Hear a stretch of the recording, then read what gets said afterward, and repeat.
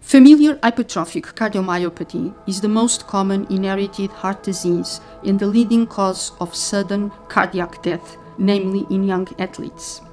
Patient symptoms can be relentlessly progressive with resultant heart failure, highlighting the importance of a timely diagnosis and therapeutic strategies to slow, pause, or reverse disease progression.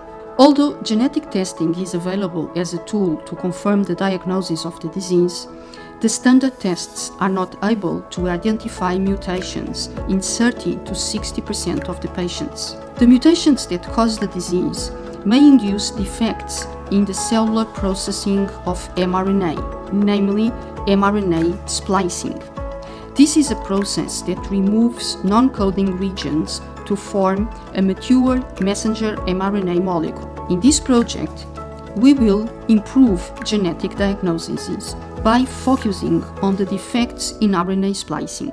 We will also use this approach to develop new therapeutic strategies to correct the abnormal messenger RNA molecules, which could improve disease treatments, since the currently available therapies target the symptoms rather than the genetic causes.